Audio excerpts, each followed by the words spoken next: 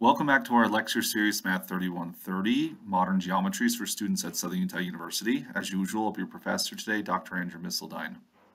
And so in this video, we're going to conclude our discussion of ordered geometry, that is talking about the betweenness axioms of Hilbert.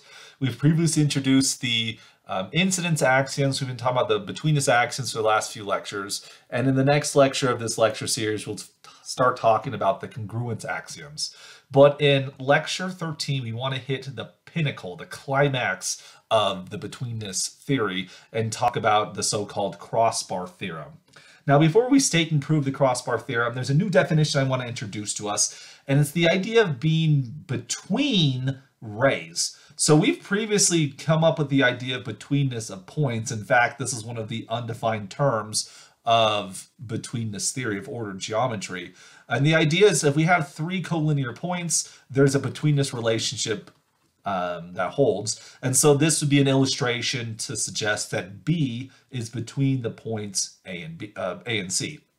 Now we can also do the same thing with rays. So imagine we have three rays that have a concurrent vertex. So we have a picture that looks something like this. All right. And so let's say that let's say that B is the common vertex of these three rays. And then our rays, we need some other point on them. So we have like A, we have C, and we have um, D, something like that. So we have these three rays. And so what we want to define is what does it mean for a ray to be between um, two other rays? So we say a ray BC in an order geometry is between two other uh, non-opposite rays BA and BD. So the fact that the rays BA and BD are non-opposite means that BAD, this is not a collinear set. It's a non-collinear set.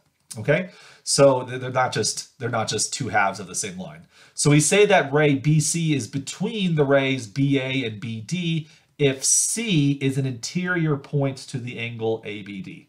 So the in the angle ABD would be uh, would be this region right here, everything in the middle. And so this point C would be an interior point. So we'd say that the ray BC is between BA and BD. And we use the same notation here. We say that BA dash BC dash BD, something like that.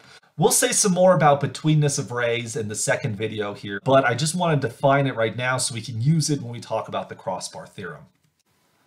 Now we're ready to state and prove the so-called crossbar theorem. So the statement's the following. If we have a ray, BP, in some ordered geometry so that BP is between two other rays, BA and BC, in other words, the ray BP is interior to the angle, particularly the point P is interior to the angle ABC. Under those assumptions, then it must be true that the ray BP intersects the line segment AC, and it happens at some point, let's call it D, that rest between A and C. So I want to draw this picture for us, and I also want to do it in such a way that we can see the picture for the entirety of this proof. So we're going to draw it something like this. Um, so let's label it here. We have an angle ABC. B is the vertex. We have some other uh, we have some other point A right there. We have some other point C right here. And let's say we have some interior point P that's inside the angle and then consider the ray that emanates from B and passes through P. So we get this ray like the following, okay? And so we have this interior ray then we are going to consider the so-called crossbar. So between these two points, A and C, that determine the angle, the line segment between them is commonly referred to as the crossbar of this angle. Of course, with different points A and C, you'll get different crossbars, but this is a crossbar of the angle, and this is why this is called the crossbar theorem.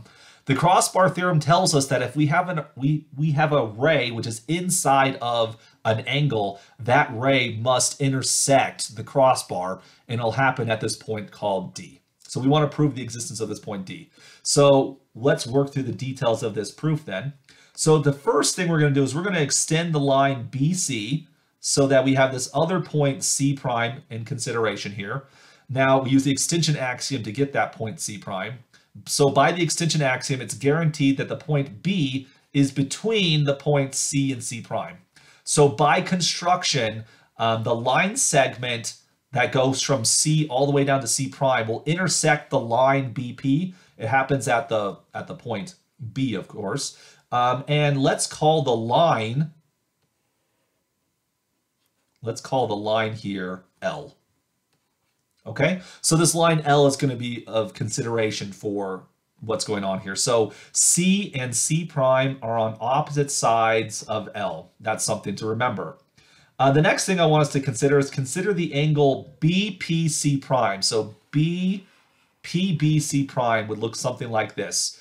Um, we claim that A is an interior point to this angle right here.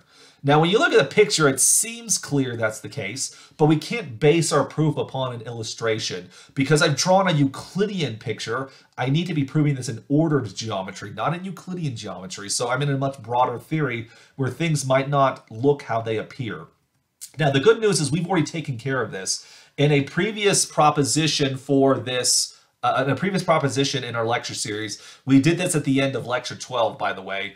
Uh, it was a very, very long proof, but we proved exactly this situation that the point A would be in the interior of this angle BPC. It seems intuitive, it seems clear from the picture, but we had a really long proof to prove this. So I would have to argue that if it's a really long proof, then it's not intuitive, and it took a long time to do. But in particular, because A belongs to the angle BPC prime, um, and since an angle is an intersection between two half planes, a half plane, of course, if you're if you have an open half plane, that means that the two points are on the same side of the same line. Um, this implies that the points A and C prime are on the same side as L. So notice what we have here.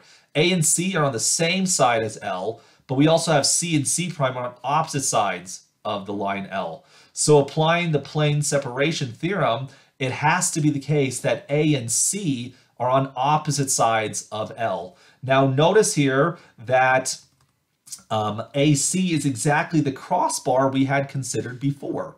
Okay, so we've now proven that the crossbar intersects the line L at some point. We're going to call that point D.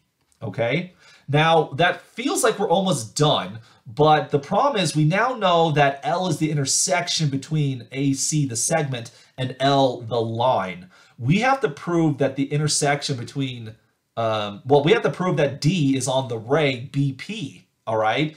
Uh, which a line is basically two rays put together. Could D actually be like something weird? Could this intersection actually be over here somewhere on the opposite ray?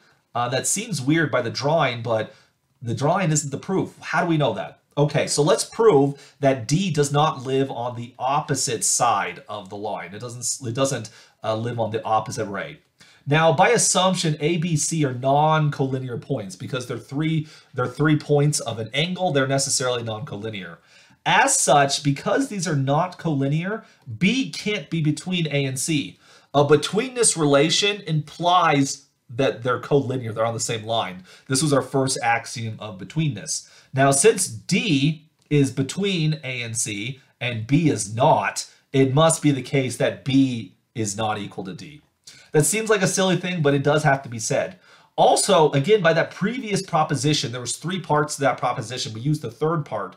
The second part tells us that the opposite ray of an interior ray to an angle only intersects that angle at the vertex B. So by proposition, uh, part B of the previous proposition, if we look at the opposite ray, um, so this is what we call negative BP from before, the intersection between BP, negative BP, and the angle ABC, this intersection has to be the point B.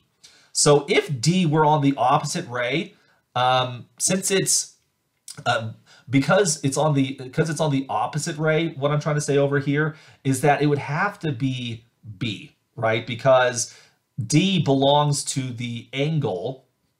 D belongs to the angle there. The between cross lemma is coming into play right there, right? Because D is between a and C on the crossbar, the between cross lemma tells us that D is an interior point to the angle. So it's here in the angle. But if it were on the opposite ray, the opposite ray intersects the angle only at the vertex B. But D is not equal to B, so that means it's not on the opposite ray. Now, since every line is the union of a ray and its opposite, If D is not on the opposite ray, then ding, ding, ding, ding, it has to be on the ray BD, which then is exactly, that puts it exactly where we want it to be. D is the intersection between the, the line segment AC and the ray BP.